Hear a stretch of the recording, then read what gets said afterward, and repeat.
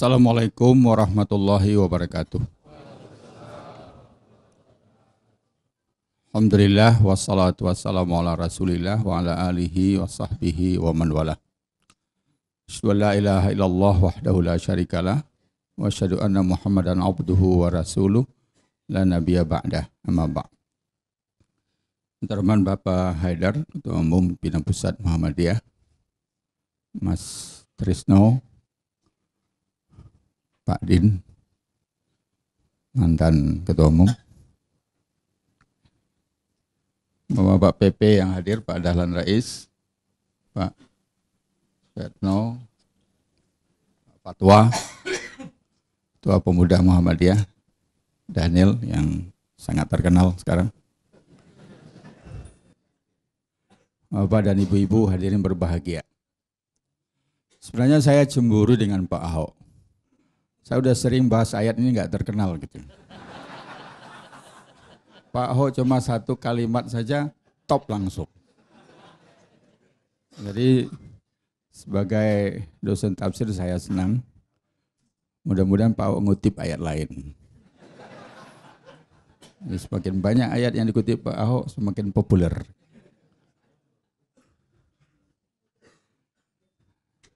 Hadirin berbahagia, Sebenarnya surat Al-Maidah dari segi judulnya itu harusnya merangsang selera makan kita. Namanya Al-Maidah, hidangan makanan. Tapi rupanya Al-Maidah ayat 51 ya bukan merangsang selera makan ya. Selera demo yang Nanti Al-Maidah 51 kita harus kaitkan juga dengan Ali Imran 144 dan kembali ke Al-Maidah 55. Kita mencoba untuk menafsirkan walaupun Nusron mengatakan hanya Allah yang tahu. Kalau begitu nggak usah diturunkan Al-Quran itu.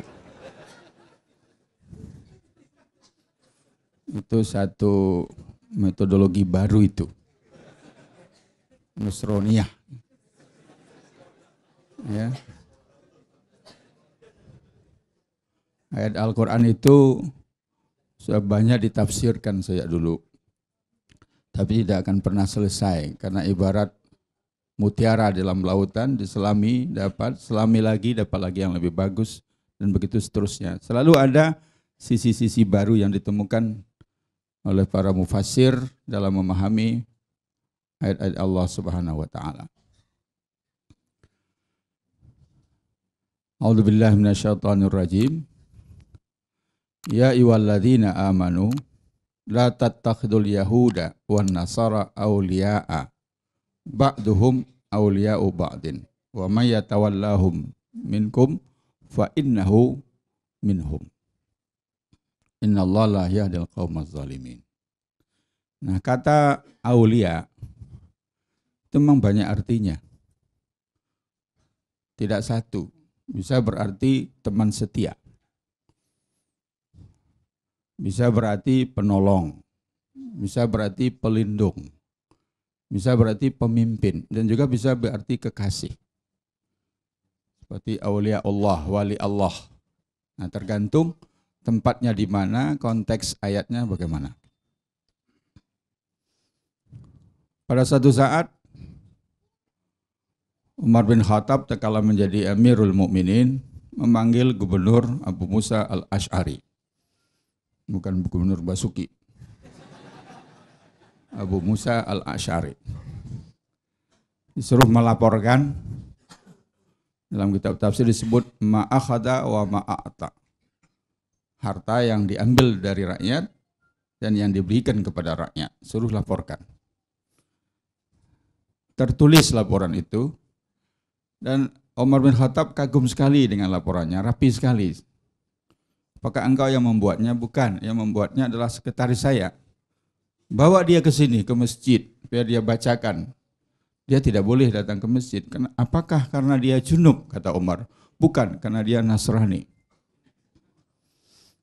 Lalu Umar memukul pahanya Abu Musa al-Ashari. Abu Musa, engkau telah melanggar firman Allah. Ya ayyuhalladzina amanu la tattathul yahuda wan nasara awliya'a. Al-Maidah 51. Jadi untuk akuntan pun Umar nggak membolehkan. Apalagi jadi gubernur. Apalagi presiden. Gitu. Nah, apakah yang data, yang tampil di televisi itu lebih pintar dari Umar bin Khattab? Saya tidak tahu siapa yang tampil ya, terserah aja lah. Nah ini. Tadi mana pembawa acara tadi? Dia sudah mengarahkan saya tadi. Padahal terserah saya mau ngomong apa. Harus dijelaskan asbabun nuzulnya katanya. Saya sebut satu saja. Setelah perang Uhud, ada dua orang muslim. Karena perang Uhud pada mulanya sudah mau menang, tapi karena ada yang tidak disiplin, para pemanah terus hampir kalah, tapi tidak jadi kalah. Nah waktu itu dua orang muslim mengatakan, mungkin dia khawatir akan kalah, saya akan pergi kepada Yahudi itu untuk berlindung kepada dia. Yang satu lagi mengatakan saya akan pergi ke Syam, ke Suria, kepada Nasrani untuk berlindung. Nah, ucapan dua orang ini kemudian dijawab oleh Allah, Ya ayyuhalladzina amanu la tattakhdul yahuda wan nasara awliya'a ba'duhum awliya'u ba'din. Jadi belum belum menjadikan Yahudi Nasrani menjadi pemimpin, tapi untuk tempat berlindung saja sudah dilarang. Kalau ada yang mengartikan teman setia, malah lebih bagus. Lebih berat konsekuensinya. Jangankan mengangkat jadi pemimpin, jadi teman saja nggak boleh. Jadi tim sukses pasti nggak boleh. Nah, tolong dipikirkan yang sudah terlanjur jadi tim sukses. Teman aja nggak boleh. Mana yang lebih tinggi kedudukan pemimpin atau teman? Jadi yang mengatakan bahwa tidak benar artinya pemimpin lalu memberi alternatif teman setia, itu dia tidak sadar kalau dia beri alternatif yang lebih berat. Umumnya mufasir memang mengartikan pemimpin. Mualah, kata Ibnu Katsir, mualah. Mualah al-Yahud wa Nasara. Memang di sini diperlukan pelajaran bahasa Arab sampai kita merasakan zoknya, rasanya. Bahasa itu harus sampai ke tingkat rasa. Saya kalau suruh marah bahasa Inggris nggak mantap saya. Kalau bahasa di Jogja kita marah bilang mbahmu. Tapi kalau di bahasa Inggris kan your grandfather. Nggak terasa. Kalau di Padang bukan mbahmu tapi bapakmu. Your father. Ngapain bapak saya? Tapi kalau mbahmu, nah. Jadi orang yang nggak bisa bahasa Arab, cuma tahu terjemahan, tidak bisa merasakan zok ayat ini. Apa maksud aulia? Makanya belajar bahasa Arab dulu. Lama itu ya. Kenapa? Dalam ayat ini diberi alasan ba'duhum awliya'u ba'din. Mereka kompak, saling memimpin, saling menolong, saling melindungi. Sebenarnya orang-orang Nasrani paling benci dengan Yahudi. Nah Yahudi lah dulu yang mau menangkap Isa Al-Masih atau Yesus Kristus. Tapi demi menghadapi Islam, seribu tahun kemudian dimaafkan. Bayangkan itu. Jadi apa pun ideologinya, apa pun pemikirannya saling bertabrakan, tapi kalau mau menghadapi Islam bersatu. Ba'duhum awliya'u ba'din. Nah, kemudian di ujungnya Allah mengatakan, wa mayyatawallahum minkum di antara kalian ini ada yang memang mualah setia kepada mereka, menjadi mereka pemimpin, fa innahu minhum. Berarti dia masuk golongan itu. Nah, kok menjadikan pemimpin mau dimasukkan ke golongannya nggak mau. Nah sekarang pertanyaannya, itu kan Yahudi dan Nasrani. Bagaimana dengan agama lain? Hindu, Buddha, Ali Imran 144. Ya iwalladina amanu la tattakhidul kafirina awliya'a min dunil mu'minin. Disebutkan sini min dunil mu'minin. Hai orang-orang yang beriman, jangan kalian mengangkat orang-orang kafir menjadi pemimpin dengan meninggalkan orang yang beriman. Berarti calonnya ada yang muslim. Kalau nggak ada yang muslim ya tinggal pilih Trump apa Clinton. Apa boleh buat? Jadi kalau tinggal di Amerika ikut pemilihan umum di sana ya pilihannya cuma dua itu. Ya. Kalau saya pilih Clinton tapi kalah.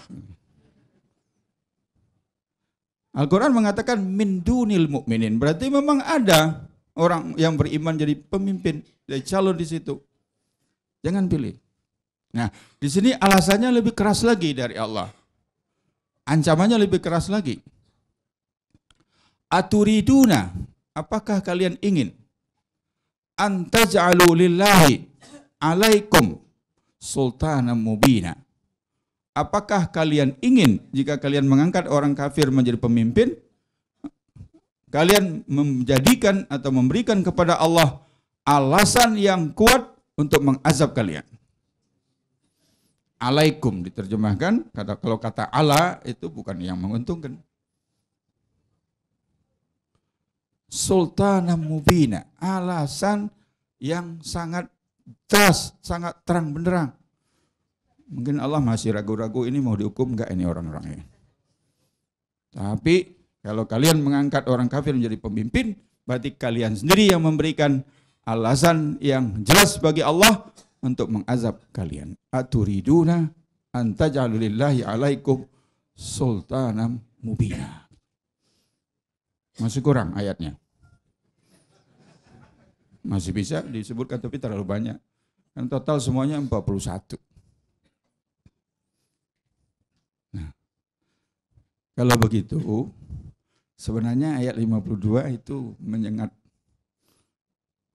Karena ayat 52 mengatakan, engkau akan melihat orang-orang yang bersegera setia kepada mereka, kepada Yahudi dan Nasrani itu.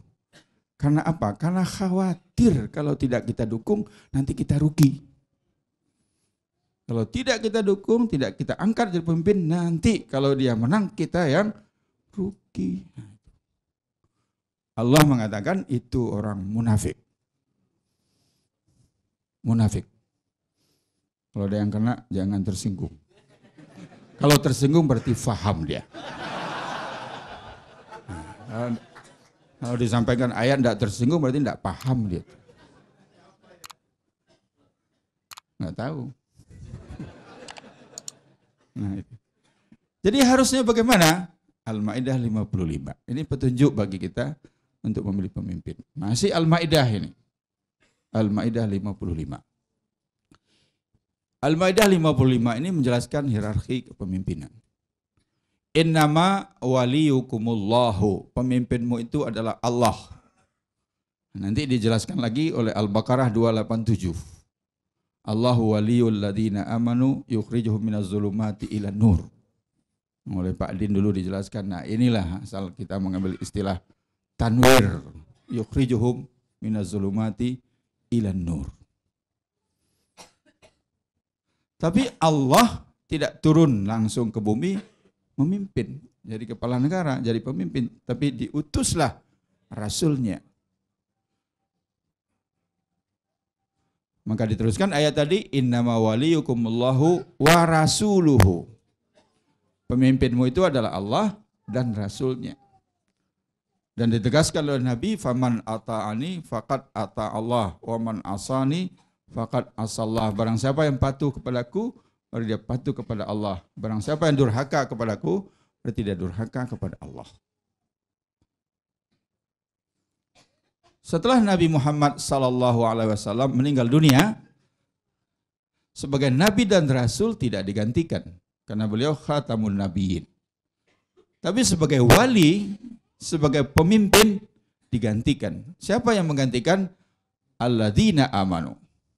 Innama waliyukumullah wa rasuluhu walladzina amanu. Orang-orang yang beriman. Jamak. Berarti umat. Al-ummah al-islamiyah. Oleh sebab itu Rasulullah menjamin kesucian umat. Ismatul ummah. Nabi mengatakan la tajtami ummati ala khata. Umatku tidak akan pernah sepakat untuk salah.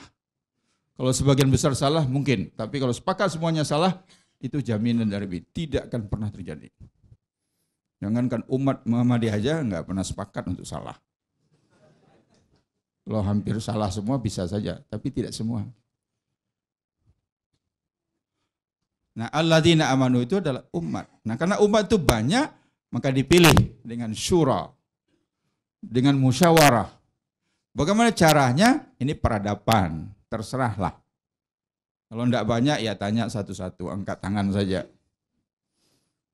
Kalau banyak lagi referendum. Kalau tidak pakai perwakilan, ya sistem apa? Ya terserah, proporsional, distrik proporsional, itu tergantung kepada peradaban. Tapi substansinya tetap dengan syura. Apa syaratnya? Tentu syarat yang pertama, waladina amanu, yang beriman. Dihubungkan dengan Al-Ma'idah 51 dan Ali Imran 144. Muslim. Iman tidak bisa diukur kecuali dengan keislaman. Nah terus yang kedua, yang kedua, tidak hanya muslim, jadi syarat pemimpin tidak hanya muslim, tapi mendirikan salat. Mendirikan salat. Wa yuqimuna salah. Kenapa salat?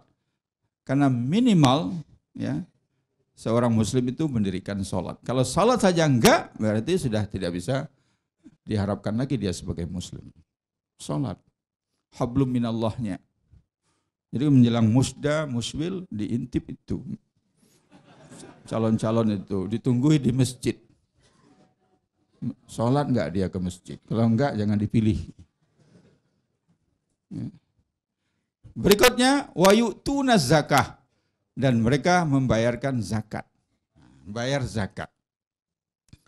Kenapa zakat? Karena zakat simbol tiga hal. Satu, khud min amwalihim sadaqatan tutahirhum wa tuzakkihim biha. Ambillah sebagian dari sebagian harta mereka itu zakat untuk membersihkan hati dan membersihkan harta. Berarti orang yang membayar zakat adalah orang yang bersih hatinya. Dari apa? Dari penyakit-penyakit hati yang berhubungan dengan harta. Apa penyakit hati yang berhubungan dengan harta? Paling menonjol adalah tamak. Surakah Nah aslinya diambilkan kata serakah itu dari nama Surakah bin Malik yang mengharapkan hadiah 100 ekor onta untuk menangkap Nabi. Tapi walaupun dia sudah ketemu, tidak bisa karena ontanya, kudanya selalu ter, terjatuh. Nah, karena itu orang yang tamak itu disebut dengan serakah, diambilkan dari surakah. Jadi kalau ada orang yang tamak, bilang, Anda ini surakah. Surakah. So kalau dia sudah tamak, nanti kalau dia jadi pemimpin, jadi pejabat pasti korupsi. Pikirannya cuma korupsi. Nggak cukup bagi dia itu satu bukit jadi emas. Nabi bertanya kepada sahabat, coba lihat bukit Uhud. Kalau bukit Uhud itu jadi emas kita berikan kepada seorang, puaskah dia? Sahabat mengatakan enggak, dia minta bukit satu lagi. Ya. Orang serakah itu enggak pernah puas. Walaupun kemudian hasil keserakahannya membinasakan dia. Seperti kisah Nabi Isa dengan seorang pendampingnya, sahabatnya yang pergi ke luar kota bawa roti tiga potong di tengah jalan yang mendampingi tadi jalan pelan-pelan lalu makan satu roti. Kemudian dia susul lagi. Setelah istirahat, lalu Nabi Isa mengatakan, mari kita makan roti perbekalan kita. Dikeluarkan dua, mana satu lagi? Ah, pura-pura kaget dia. Ternyata terjatuh. Nah, setelah selesai makan, Nabi Isa ambil pasir, bikin gundukan pasir tiga buah, tiga gundukan pasir, lalu mohon kepada Allah, lalu menjadi emas. Nah, yang di samping tadi terbelalak matanya, Nabi Isa mengatakan, kamu tahu untuk siapa tiga bukit pasir ini? Adalah untuk orang yang telah memakan roti tadi. Satu untuk saya, satu untuk kamu, satu lagi untuk yang memakan roti yang terjatuh itu. Tanpa malu dia mengatakan, sebenarnya saya yang memakannya. Jadi asal dapat tambahan, malu nggak penting. Kata Nabi Isa, sudah ambil semuanya, saya tidak perlu. Tapi dengan satu syarat, kamu tidak boleh ikut lagi, tunggu di sini sampai saya kembali dan tidak boleh pergi ke mana pun. Duduklah di situ. Dia takut pergi. Mama lapar. Kalau lapar emas nggak penting. Yang penting makanan. Mau cari beli, ingat dengan Nabi Isa nggak boleh pergi. Akhirnya nunggu ada orang lewat dipanggil. Sini mas, tolong ya. Diambil emasnya sedikit, tolong belikan makanan. Pergi dia. Berpikir, ini orang kaya bener ini. Masa beli emas beli makan aja pakai emas? Mesti banyak emasnya. Awas, saya bunuh dia. Lalu dia beli racun, diracunlah makanan tadi. Nah, kemudian yang yang serakah ini berpikir enak sekali beli makanan upahnya ya kan dijanjikan juga upah upahnya emas. Awas begitu dia datang, saya pukul kepalanya. Betul, yang datang sudah senang karena membayangkan orangnya akan mati. Tapi begitu dia datang, dia duduk, orang tadi berdiri, dipukul dari belakang terus mati. Mati orang dia makan, mati juga. Nabi Isa balik, ditemukan dua orang yang mati dan emasnya masih utuh. Kalau sekarang matinya mungkin ditangkap KPK mungkin ya. Tapi ada yang nggak berani KPK tangkap itu kayaknya. Daniel bisa tanya itu, ya, kok nggak berani gitu ya. Nah, jadi orang yang membayar zakat adalah orang yang hatinya bersih dari penyakit hati yang berhubungan dengan harta. Yang penting adalah tamak. Pasangan tamak itu kikir. Yang kedua, orang yang hartanya bersih. Oleh sebab itu, siapa pun yang akan menjadi pemimpin harus diteliti hartanya. Kalau dia pedagang, dia tidak nipu. Kalau dia pejabat, tidak pernah korupsi. Nah yang ketiga, zakat diberikan kepada asnaf delapan. Nomor satu, fukara masakin. Artinya apa? Pro rakyat kecil. Harus pro du'afa mustad'afin. Bukan pro rakyat besar. Kalau pro rakyat besar, nggak usah disuruh-suruh. Jadi jangan cari pemimpin yang tajam ke bawah, tumpul ke ke atas. Seperti siapa? Nggak usah disebut. Karena kata Pak Nasir, pendengar itu cerdas, nggak usah disebut-sebut. Biarkan mereka berimajinasi sendiri. Nah, kalau ditemukan pemimpin seperti ini, Muslim, mendirikan salat, bayar zakat, masih ditemukan, seleksi lagi dengan syarat berikutnya, wahum rakiun. Mereka selalu dalam keadaan rukuk. Nggak mungkin rukuk terus, pasti ini majazi, metaforik. Orang yang total keislamannya, yang paling Islam, paling kafah kalau bahasa anak muda sekarang. Jadi kita bisa menggunakan Al-Maidah 55. Kalau Al-Maidah 55 sifatnya internal saja. Seorang muslim harus memilih pemimpin yang muslim. Tapi kalau mau ditegaskan pakai Al-Maidah 50 satu mau tegas lagi pakai yang tadi satu lagi. Nah, hadirin berbahagia, itulah sekedar penafsiran terhadap Al-Maidah 51. Nah, sekarang kalau ada orang yang mengatakan dibohongi pakai Al-Maidah 51 itu menista agama apa bukan? Nah, kalau Hakim atau yang lain-lain membandingkan dengan babi kan gitu ya. Babi itu masih Al-Maidah itu, Al-Maidah ayat 3 itu. Hurimat alaikumul maitatu wa damu wa lahmul khinzir. Lalu pemilik restoran yang jual daging babi, kalau babi dibikin apa ya Pak Din ya? Sop ada ya, sop. Sate. Babi guling. Oh, babi guling. Di Brastagi itu, babi guling. Atau di Jakarta ini. Ada pedagang babi mengatakan, eh, jangan mau dibohongi pakai Al-Maidah ayat 3. Hmm. Karena Al-Maidah ayat 3 melarang makan babi. Kalau ibu-ibu mungkin bilang, eh jangan mau dibohongi dengan Anisa ayat 3. Nah itu ibu-ibu itu. Jadi kalau sampai mengatakan itu penistaan agama. Jangan mau dibohongi pakai Al-Nisa ayat 3. Ayat favoritnya Bapak-bapak. Tapi Ibu Aisyah tidak usah khawatir, Muhammadiyah itu bicara aja udah puas kok. Enggak sampai dipraktekkan.